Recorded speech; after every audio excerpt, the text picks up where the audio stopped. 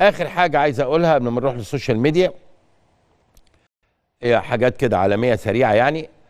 النهارده اليابان اعتذرت عن استقبال كأس العالم للأندية لأنه الاتحاد الدولي بيشترط حينما تقام بطولة كأس العالم للأندية لابد أن تكون بجمهور.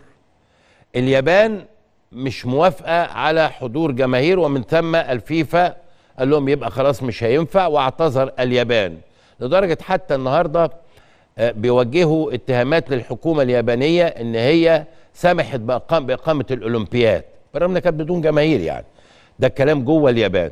طب مين هيستقبل كأس العالم للأندية؟ قطر كانت مقدمة من فترة استعدادها لاستقبال كأس العالم للأندية. أنفانتينو لما سألوه طب لو اعتذرت قطر قال لهم عندي نادي تاني عندي عندي بلد تانية. البلد التانية كانت مقدمة من شهرين أيضا استعدادها لاستقبال كأس العالم للأندية لأنه كرنفال المملكة العربية السعودية. إذا الآن قطر قدمت الأول وأخذت الأوكي.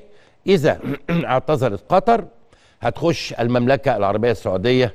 وبرضو حاجة جميلة يعني النهارده آه، آه، بطل طبعا دوري أبطال إفريقيا هو النادي الأهلي العظيم طبعا.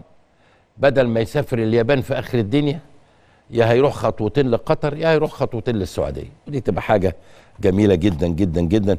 وكمان ال- ال- ال- المشاهدين العرب ينعموا بهذه آه، البطولة.